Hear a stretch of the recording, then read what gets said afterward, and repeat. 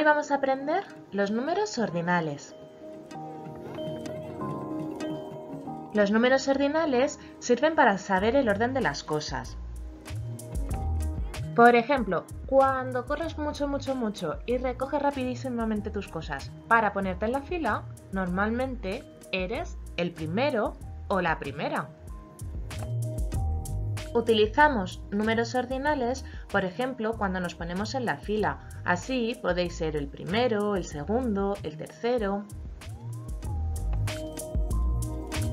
Usamos los números ordinales en las carreras, en los premios y hasta en los cursos del colegio.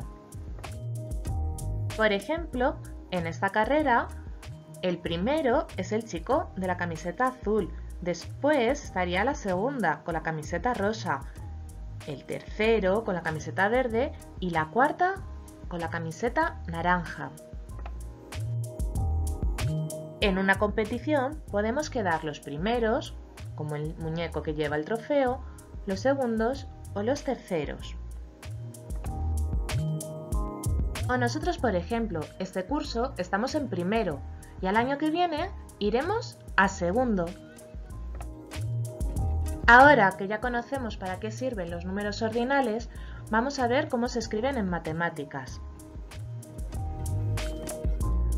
Empezamos por el 1. Cuando es un número ordinal no pongo solo el 1, sino un 1 y una O chiquitita arriba a la derecha. ¿Y cómo se lee ese número? Primero. El siguiente número sería un 2 con una O chiquitita en el margen superior derecho. ¿Y cómo se leería? Segundo. Después vendría el tercero.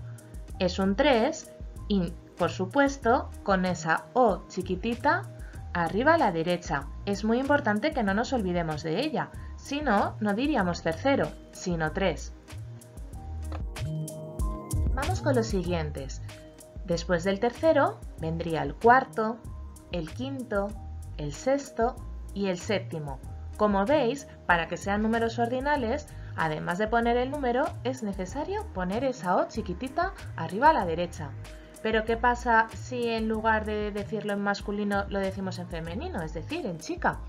Pues en ese caso tendremos que decir cuarta, quinta, sexta y séptima. Y si os fijáis bien, ya no hay una O pequeñita, sino una A.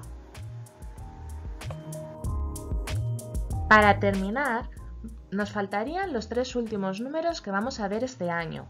Serían octavo, noveno y décimo, y se corresponden con el 8, el 9 y el 10.